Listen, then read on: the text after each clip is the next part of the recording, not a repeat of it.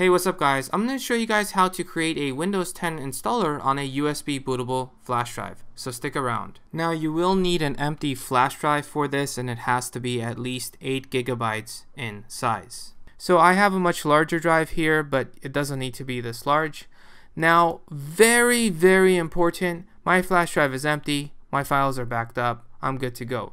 This process will erase everything on this flash drive, so be sure to back up your data. During this process, if your flash drive is over 32 gigabytes, which mine is, this process will most likely resize your flash drive to be 32 gigabytes. Now at the end of the video, I will show you guys how to resize it back to its original capacity after you guys are finished with the Windows 10 install. Okay, so all we need to do, again, I have an empty flash drive, so I'm good to go, prepared for that. So go to this link. I'll put the link in the description below. But this is from uh, Microsoft officially, so just go ahead and download the tool now. So this is actually going to do everything in one step. So click yes for the process. So it's going to attempt to actually install Windows 10 now, but I'll show you guys what to do to actually make a bootable flash drive out of this thing. And this thing is awesome because Literally, it's just a few clicks and it makes the bootable flash drive and you're good to go. So I'm going to accept the terms and conditions. That's up to you. And it's just going to get things ready right now. In fact, I'll just minimize that and I'll probably just show that as well just so you guys can see what happens to that. Okay, so we're going to click on create installation media and we're going to click next and I'm going to say yes Windows 10 I'm just going to check this, use the recommended options. Next. So I'm going to select the USB flash drive option and the flash drive needs to be at least 8 gigabytes. Or you can make an ISO file and you could burn it on a DVD later on if you want, but it's just so much easier using a flash drive, so that's what I'm going to do. So with that selected, it's going to uh, find the flash drive that's selected. If there was more than one, make sure you select the correct one because this will format everything. So again, make sure everything's backed up. So I selected that.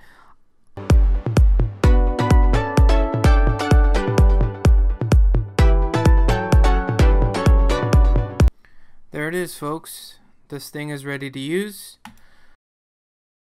You can see that now it's 32 gigabytes. Now you would take this flash drive, plug it inside the computer you're going to install Windows 10 on, and select it as the boot device. After the successful installation of Windows, if you want to bring your flash drive back to its original state, this is how you would do it. So you would basically format it. And the way it works is actually, if your flash drive is 32 gigabytes or smaller, it probably didn't change in size. If that's the case, all you need to do is select the flash drive. Again, this is the bootable Windows installer, so if I want to get rid of this, so I would just right click on this and click format and then I would select my file system whether I want NTFS which is usually designed just for Windows or FAT32 or exFAT which can actually work on both Windows and Mac OS but depending on what I want and then I would select default allocation size and then you can also rename this and click start. This will erase everything on the flash drive so even if you put additional files it will erase those. So if you want to back stuff up be sure to back it up before you click start now, in my case, my flash drive is larger than 32 gigabytes. So where did the extra space go and how do I bring it back? So if I try to click on capacity, notice it says 32 gigabytes. I can't actually go larger than that, even though this flash drive physically is larger. So how do I bring that back? Well, all I need to do is click on Windows or hit Windows key on the keyboard and then type in disk which is going to take me to create and format hard disk partitions, which is really taking me to disk management. When I get here, I have a lot more options. Now, it's also very important to select the correct disk drive. So in my case, it's disk 2 or my E drive. And I know this because this is my E drive. These are the Windows installer files. I know it's my drive. Also, I know this is the size of my flash drive because the, the other two drives are the 2 terabyte NVMe SSDs. So for a fact, I know it's disk 2. Now in your case, it might be disk 3, it might be disk 1, it might be a different disk. And it might be a different letter here. So make sure you select the correct one Otherwise, you're going to be erasing stuff and it's not going to be good, basically. So I don't care what's inside this. I know I'm going to select the correct one and all I have to do is just right click on this, click on delete volume. When I do this, it's going to say, hey, are you sure you're going to delete this partition? It's going to delete everything. I'm going to say, yes, I'm sure.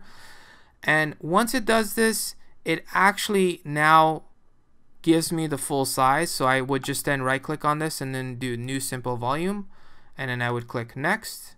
I select the largest size which it could take, which it's by default. Click next.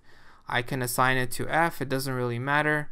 And then all I have to do, I can also rename it to, I could say, I don't know, flash drive, or actually it's a Lexar, so I could just say Lexar 128 gigabytes and it could be NTFS, it could be exFAT. If I wanted to work both on Mac OS and Windows, I would just do exFAT.